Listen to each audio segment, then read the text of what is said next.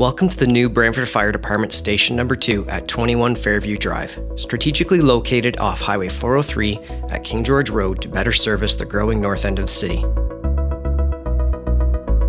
This new station will replace the existing Station 2 located at 311 St. Paul's Ave and will allow us to continue our long-standing tradition of providing excellent fire service to this community.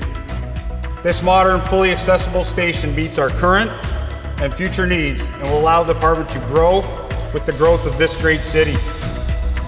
You know, what I love about this building is that not only does it incorporate all the most modern technology that a fire service requires, but it also speaks very aptly to our history.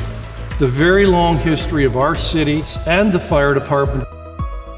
The station was purposely designed to celebrate and honor Brantford Fire's rich history, yet provide modern functionality for training and firefighter health and safety, and represents our growing diverse and inclusive department.